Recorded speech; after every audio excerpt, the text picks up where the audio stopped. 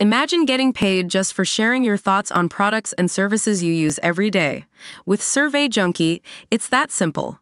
Click on the link in the video description to discover how you can start earning today by taking surveys. The U.S. economy added 272,000 jobs in May, a sign the labor market continued strong amid high interest rates, the Bureau of Labor Statistics announced on Friday. The number of May jobs was far higher than the 190,000 economists had expected and topped April's gains, when a revised 165,000 jobs were added to the economy.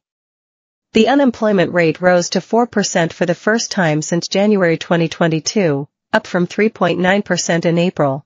Unemployment has now been at or below 4% for more than two years, the longest streak in over 50 years.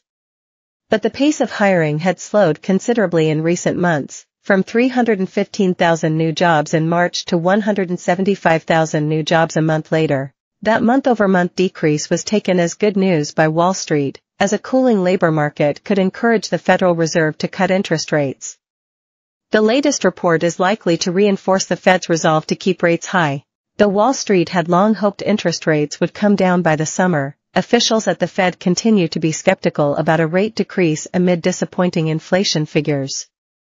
Inflation was at 3.4% in May, still above the Fed's targeted rate of 2%. Previous signs of cooling in the labor market included the Bureau of Labor Statistics job openings and labor turnover survey from earlier this week which showed there were just over 8 M open job positions in the U.S. at the end of April, the lowest number since February 2021 and down 1.8 M over the year. According to executive outplacement firm Challenger, Gray and Christmas, layoff figures have held steady, with U.S.-based employed announcing 63,816 jobs cuts in May, around the same number of cuts announced in April.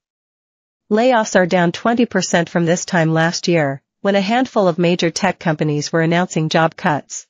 The Federal Reserve will hold its next Federal Open Market Committee meeting next week and is expected to announce on June 12 whether officials will change interest rates. Interest rates are currently at 5.25% to 5.5%, the highest rates in nearly two decades. On Thursday, the European Central Bank cut its interest rate for the first time in almost five years, but few expect the Fed to follow suit this week. At their last meeting in early May, officials said inflation was still too high above their targeted rate of 2% to cut rates. In May, inflation stood at 3.4%, higher than its peak of 9.1% in June 2022, but also above the rate in June 2023, when it hit 3%. Inflation has not been below 2% since February 2021. It is likely that gaining confidence will take longer than previously expected, Powell said after the Fed's meeting in May. Federal officials are trying to manage a tough balancing act in trying to bring price increases down to a manageable level without offsetting the labor market too much.